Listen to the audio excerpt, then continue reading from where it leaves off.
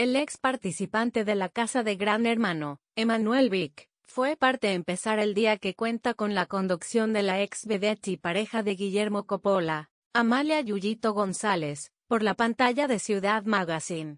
En este marco, uno de los amigos más cercanos de Furia, Scaglione dentro de la casa asistió al programa como invitado y fueron abordando diversos tópicos de conversación.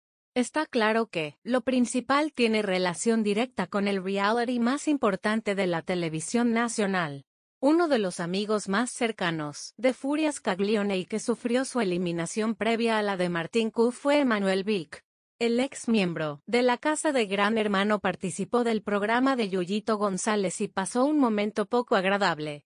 El tema de conversación era referido a si encontraba casado con su novio, a lo que respondió afirmativamente y rápidamente lo contradijo. Uno de los panelistas habituales de la emisión que se realiza por la pantalla de Ciudad Magazine.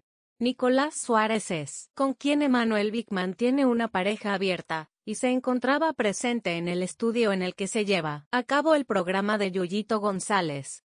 El periodista manifestó que durante la participación del hermanito en el reality le consultó a su compañero de vida si estaban casados y la respuesta fue negativa.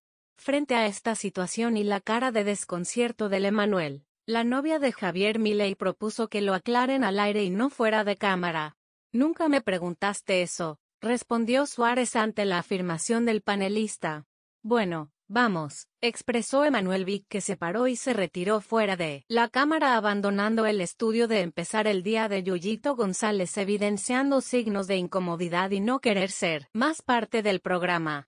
Rápidamente la ex vedette mostró asombro al igual que sus compañeros, y lamentó la ida del ex participante de Gran Hermano y su actual pareja. En este marco, Yuyito manifestó desconocer el motivo por el cual se tomaba esa decisión. Se acercó a consultarle a Vicky también dejó claras muestra de un acontecimiento verdaderamente inesperado e incómodo para todos los presentes.